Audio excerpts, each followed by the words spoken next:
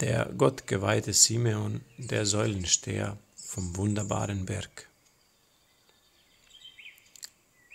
Dieser wundervolle Heilige wurde in Antiochia im Jahr 522 während der Herrschaft des Kaisers Justin des Älteren geboren. Sein Vater kam in einem Erdbeben um, und er blieb allein mit seiner Mutter Martha. Im Alter von sechs Jahren zog er sich in die Wildnis zurück zu einem geistlichen Vater namens Johannes, unter dessen Führung er sich zum Erstaunen aller, die ihn sahen, einer Lebensweise strengsten Fastens und von Gebet erfüllter Askese widmete. Er erduldete schreckliche dämonische Versuchungen und empfing großen Trost und Gnade vom Herrn und seinen Engeln. Der Herr erschien ihm in Gestalt eines schönen Jünglings. Nach dieser Vision brannte eine große Liebe zu Christus in Simeons Herz. Er verbrachte viele Jahre auf einer Säule im Gebet zu Gott und Psalmengesang. Unter Gottes Führung zog er sich auf einen Berg zurück, der vom Herrn selbst wunderbar genannt wurde. Wunderbar, weil dort so viele Wunder geschehen sind durch Simeon. Daher erhielt Simeon den Beinamen Mann vom wunderbaren Berg. Aufgrund seiner Liebe zu Gott wurden ihm seltene Charismen gewährt, durch die er alle Krankheiten heilen, wilde Tiere zähmen, hellsichtig in ferne Teile der Welt und in die Herzen der Menschen schauen konnte. Er verließ seinen Leib, er schaute die Himmel und unterhielt sich mit Engeln jagte Dämonen Furcht ein und trieb sie aus, prophezeite, und zeitweilig lebte er dreißig Tage ohne Schlaf und sogar noch länger ohne Nahrung. Er empfing Speise aus der Hand der Engel. Die Worte des Herrn erfüllten sich vollständig in ihm. Wer an mich glaubt, wird die Werke, die ich tue, auch vollbringen, und noch größere Werke wird er tun. Diese Worte des Herrn erfüllten sich vollständig in ihm. Im Jahr unseres Herrn 596 und im 75. Jahr seines Lebens trat der heilige Simeon vor den Herrn, auf dass er sich zusammen mit den Engeln am Anblick des Angesichts des Herrn erfreue.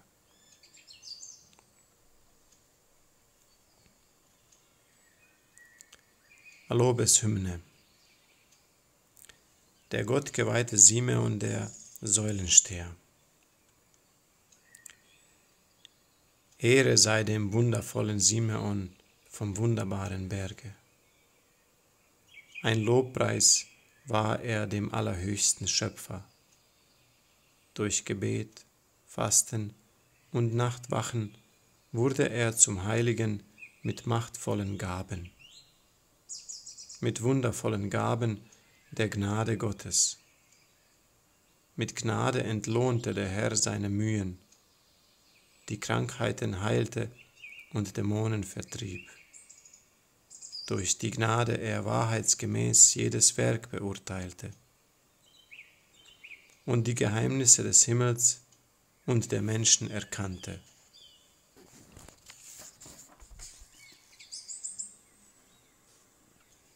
Von seinen Kindesjahren an bis ins Alter war er ein schönes und duftendes Opfer. Sein Herz war der Altar des lebendigen Gottes. Für den Allheiligen Geist ein leuchtender Opferaltar. Zu den höchsten Sphären erhob er seinen Geist mit Kraft, wo alle Dinge des Glaubens den Augen sichtbar sind. Und auf das Gute war sein Wille gerichtet, mächtig gestärkt in Gottes Gesetz. Was sind alle Reichtümer, alle Königreiche? Was sind sie?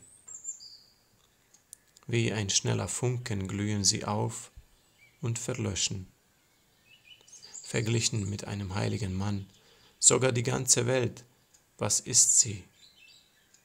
Die Welt verändert sich, verdirbt, doch der Heilige bleibt. Wenn sie keinen Heiligen hervorbringt, ist sie ein Feigenbaum ohne Frucht und Wert, ein toter, unfruchtbarer Baum. Ehre sei dem wundervollen Simeon vom wunderbaren Berge. Ein Lobpreis war er der Schöpfung und dem Schöpfer. Betrachtung Für den Reinen sind alle Dinge rein, sagt der Apostel Paulus. Titusbrief 1.15 Die Nahrung, die der Mensch zu sich nimmt, kann nicht als unrein an sich angesehen werden, obwohl einige Nahrungsmittel unreine Gedanken und Begierden im Menschen erwecken können. Der wunderbare Simeon, der Stilit, denkt über ein Gespräch mit seinem geistlichen Vater Johannes nach. Der Altvater sagte, der Mensch kann Speise oder Trank nicht unrein machen, denn der Herr sprach in der Schrift, alles übergebe ich euch wie die grünen Pflanzen. Genesis 9.3 Der heilige Simeon antwortet, obwohl die Nahrung des den Menschen nicht unrein machen kann, kann sie doch unreine Gedanken in ihm verursachen und den Geist verdunkeln. Sie kann ein Nährboden für die Leidenschaften des Fleisches sein und sie wachsen lassen. Auf diese Weise verwandelt sie einen geistigen Menschen in einen fleischlichen und wendet seine Gedanken irdischen Begierden zu.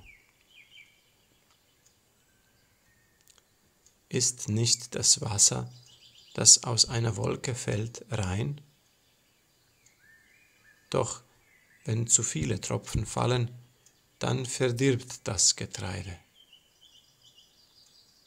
Ebenso kann üppige Nahrung das Verderben des geistigen und sittlichen Wesens des Menschen mit sich bringen.